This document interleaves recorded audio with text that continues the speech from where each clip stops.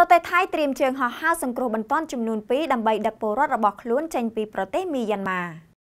ស្ថានទូតថៃនៅទីក្រុងយ៉ាងកនបានប្រកាសថារដ្ឋាភិបាលបានរៀបចំជើងហោះហើរជំនួយសង្គ្រោះបន្ទាន់ពិសេសចំនួន2ដើម្បីនាំជនជាតិថៃដែលជាប់នៅក្នុងប្រទេសមីយ៉ាន់ម៉ាត្រឡប់មកស្រុកកំណើតវិញ នៅក្នុងសេចក្តីប្រកាសនោះស្ថានទូតបានបញ្ជាក់ថាការហោះហើរលើកដំបូងរបស់ក្រុមហ៊ុនអាកាសចរ Myanmar Airways International គ្រោងធ្វើឡើងនៅថ្ងៃទី12ខែមិនិនាហើយអ្នកដំណើរត្រូវចុះឈ្មោះនៅស្ថានទូតថៃចាប់ពីថ្ងៃទី5ខែមិនិនាចំណែកជើងហោះហើរលើកទី2របស់ក្រុមហ៊ុនអាកាសចរ Myanmar Myanmar National Airlines ក្រុងនឹងធ្វើឡើងនៅថ្ងៃទី16ខែមិនិនាហើយអ្នកដំណើរត្រូវចុះឈ្មោះមុនថ្ងៃទី15ខែមិនិនាលើពីនេះជនជាតិថៃអាចកក់សម្បត្តិយន្តហោះនៅស្ថានទូតដែលមានទីតាំងនៅសង្កាត់ Dagon ទីក្រុងយ៉ាងកននៅថ្ងៃធ្វើការចាប់ពីម៉ោង9ព្រឹកដល់ម៉ោង11:30នាទីព្រឹកនិងម៉ោង1:30នាទីរសៀលដល់ម៉ោង5ល្ងាចសូមជម្រាបផងដែរថាប្រទេសវៀតណាមបានធ្វើការហោះហើរចំនួន2ជើងកាលពីថ្ងៃសុក្រដើម្បីដឹកជញ្ជូនជនជាតិវៀតណាមជិត400នាក់នៅក្នុងប្រទេសមីយ៉ាន់ម៉ាត្រឡប់ទៅប្រទេសទេសកំណត់វិញ